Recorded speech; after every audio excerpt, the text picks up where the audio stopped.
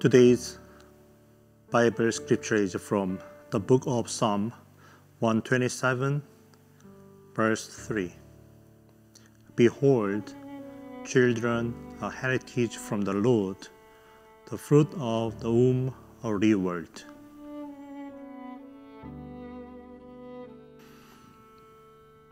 Good morning, New Life Church. You know, pastors should prepare and do sermons on various topics from the Bible. However, it is true that many pastors feel difficult to preach about having successful relationship between husband and wife and about parenting. Why? Because it is difficult to maintain a good relationship with their spouse and there are many pastors who failed to raise their own children in God faithfully. Pastors are not perfect husbands, wife, and parents, as you know. But many people expect that pastors raise their own children well in God. Am I right? That's why many pastors feel difficult to preach on a topic they are failing. It is so hard, but we must continue to try to raise our children well in God. So, what do we need the most to raise our children? Right. We cannot raise our children well without God's help. So we must cry out for God's help. That's why we have to pray with tears every day and every moment. But the good news is that God is willing to help us when we try to raise our children well in God. Why? Because God loves our children and wants them to grow well in Him more than we do. That is the first reason why we have to raise our children well in God. Today's Bible scripture, Psalm 127 3 says, Our children are heritage from the Lord, and they are fruit of the womb a reward from Him.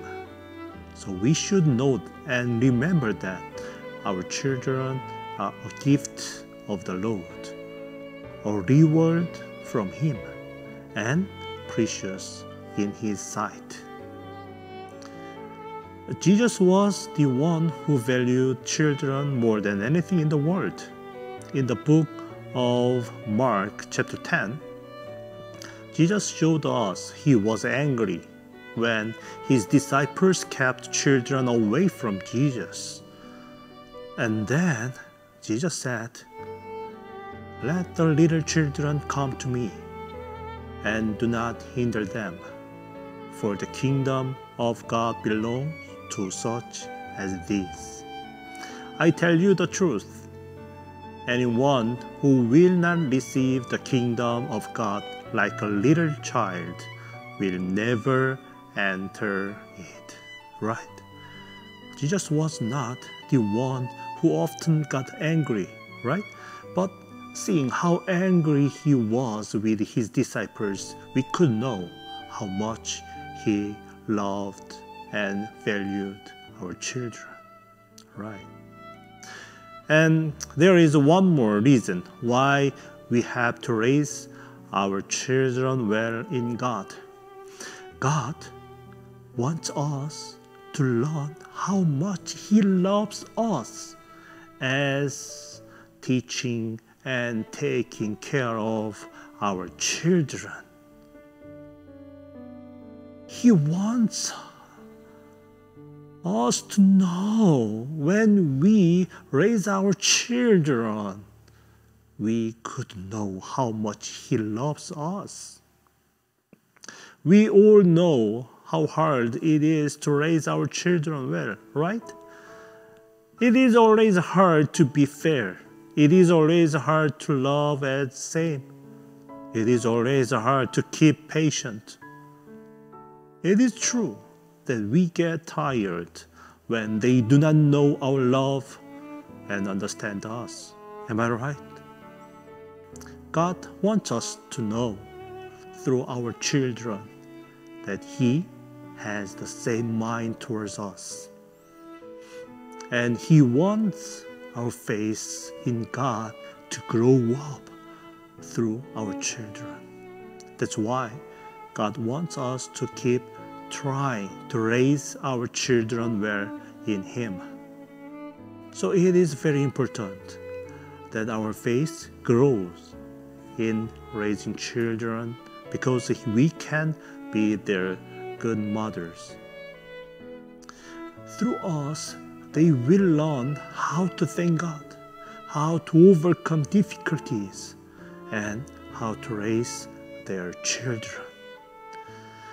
So today, the author of this reading plan, Dr. Charles Stanley, says if we were raised by such good mothers, parents, we can probably see the fruit of such an upbringing in our own life and surely want to take a similar approach with our children. But on the contrary, if we were raised in a home where commitment to biblical principles were lacking, it would be difficult for us to find the things that God's child must have and not be a good mother for our children. But the author says we do not have to be disappointed because, thankfully, God wants us to be a successful parent and a wise steward of our child children even more than we do. That's why he sent the Holy Spirit to live within us when we became a believer. This is the awesome power that will enable us and our children when they trust in Christ to live by God's principles. So the author gives us one more Bible scripture today. So Galatians chapter 2 20 says, I have been crucified with Christ, and I no longer live, but Christ lives in me. The life I live in the body, I live by faith in the Son of God, who loved me and gave himself for me. Do you believe that? Amen. So let us ask God for His wise and His help to raise our children, to know His plan and will for our children. Let us keep praying and reading His words from the Bible. Let us ask the Holy Spirit to offer guidance to raise our children well in God. So I hope we all become a little bit better parents when this reading plan is over. So please continue to join this reading plan and see you next week.